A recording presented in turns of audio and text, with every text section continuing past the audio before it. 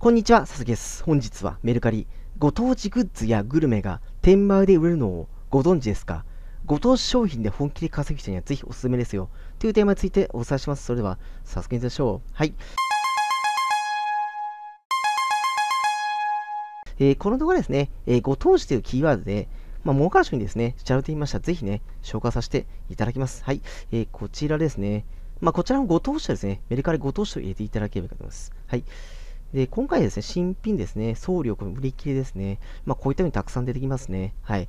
で、まあ、ちょ、いろいろ見てまして、まあ、例えばこういった感じですね。はい。で、これはですね、広島のお土産、鳥皮。まあ、結構人気あるんですね。もういろいろ出てまして、マツコの知らない世界で紹介されました。これかなり人気ある商品ですね。大ヒットですね。ニンニク風味1回食べるやみつきになる。まあ、とても美味しい。まあ、こういった商品ですね。これお土産ですね。書いてありますね。お土産。はい。新品ですね。はい。で、こういった風商品ですね。あるとやっぱ儲かるみたいですよね。はい。で、まあ、たくさん、まあ、ここですね。ここ。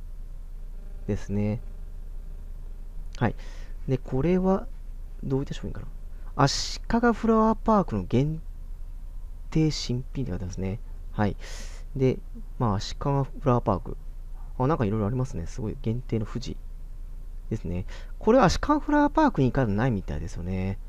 まあ、限定品、レアですよね。限定品ですね。はい。まあ、すごいですね。他に何かありますかね。まあ、いろいろありますよね。まあ、ちょっと繰り返し、まあ、ここで見てみますか。札幌、あ、これちょっとこれ見てみます。ラーメンですね。はい。ラーメンすごい人気ありますよね。信州のご当地味噌。あ、これ違うんですよね。商品が札幌一番。限定ですよね、これ。限定商品ですね。あ、すごいですね、これ。あ、こういったらみたいですよね。はい。だからこういったね、限定商品を売っていただくと結構すごいですね。3つです。999円ですね。これ1つ大体100円ぐらいですよね。それ3つで999円と3倍ですよね。すごいですね。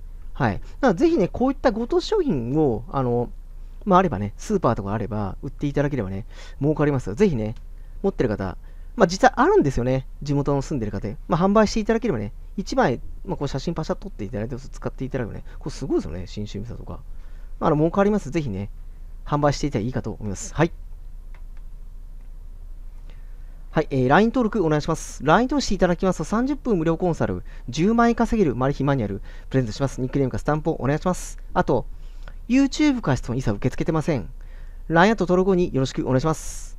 本日は最後見ていただきありがとうございます。番組登録お待ちします。よろしくお願いします。ありがとうございました。